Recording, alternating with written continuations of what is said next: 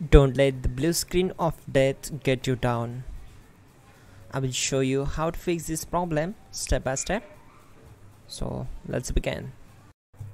Click on advanced options, select troubleshoot, then click on advanced options.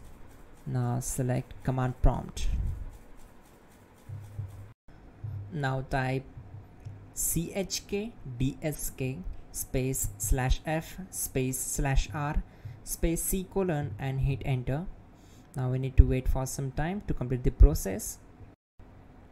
Type c colon then hit enter.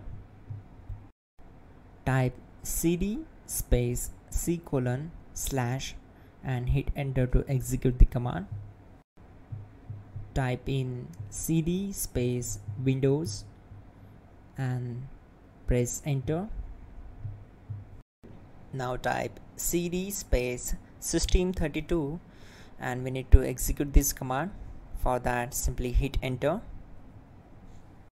Now type cd space config and hit enter. Now execute this command carefully. Type in md space backup and simply hit enter to execute it.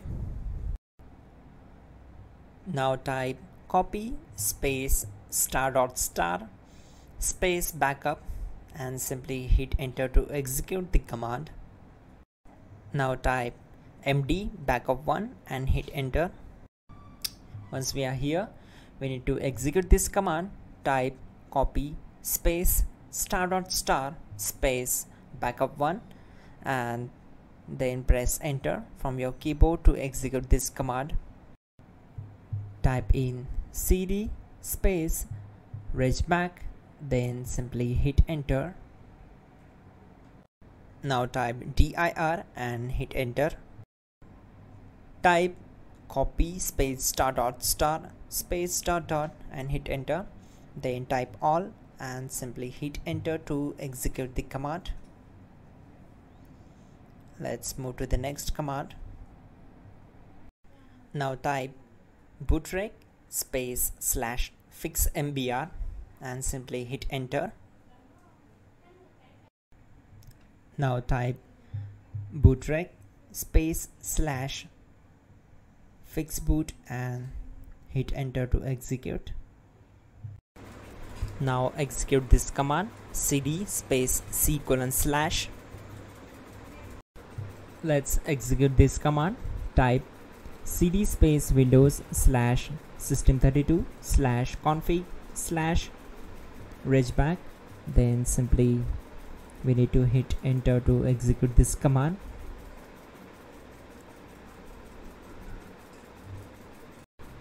Type bcd edit space slash export space c colon slash bcd back backup and simply hit enter to execute this command Now type cd space c colon slash and hit enter. Now type md space boot and hit enter. Now execute this command.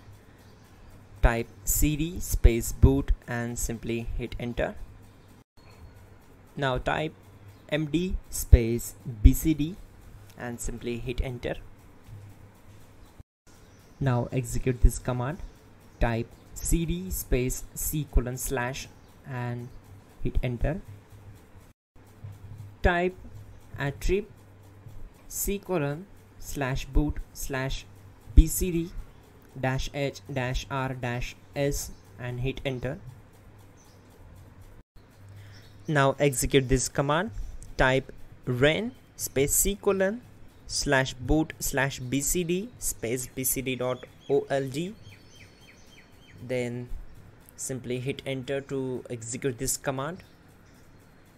And once done let's move to the next command. Type bootrec space slash rebuild bcd and hit enter. Type exit and hit enter now click on continue. It will restart your system. So that's it guys. Your problem is solved and you're good to go